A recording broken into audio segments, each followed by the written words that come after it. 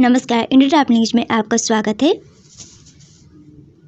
अधिवक्ता संघ का चुनाव निर्विरोध संपन्न हुआ और गोपनीयता की शपथ दिलाई गई। उत्तर प्रदेश बलिया ज़िले में कलेक्टेड बार एसोसिएशन के अधिवक्ता संघ का चुनाव निर्विरोध संपन्न हुआ जिसमें उपाध्यक्ष रमाकांत यादव, महामंत्री लक्ष्मण वर्मा कोषाध्यक्ष और अन्य कार्यकारिणी में 25 मेंबरों का चयन किया गया। यह चुनाव कलेक्टेड बार के इतिहास में अविस्मरणीय चुनाव था जिसका समर्थन सिविल बार एसोसिएशन और किन्नर बार एसोसिएशन तथा जूनियर बार एसोसिएशन ने किया।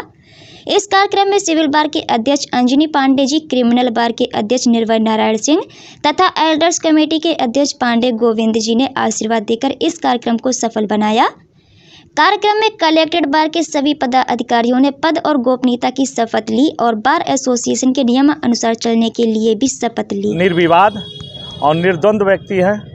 इनके ऊपर कोई कलेक्ट्रेट में या अधिवक्ता संघ में इन पर कोई कभी आरोप नहीं लगा है। ये लोग हमेशा अधिवक्ता के और अधिकारियों के सम्मान के लिए हमेशा लड़ाई में आगे रहे हैं। इनके लिए क्या कहेंगे दोस्तों संदेश क्या देंगे?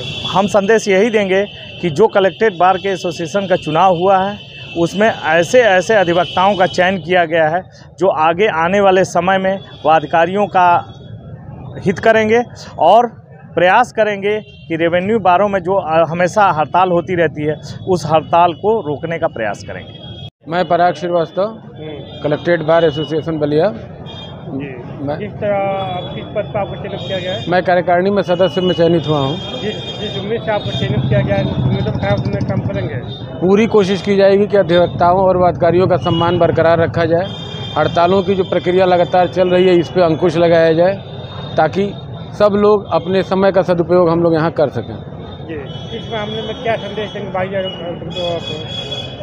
संदेश स्पष्ट है हम लोगों का कि किसी भी प्रकार का इनडिसिप्लिन या किसी भी प्रकार का भ्रष्टाचार किसी भी प्रकार का अहित अधिकारियों का होने से हम लोग रोकेंगे।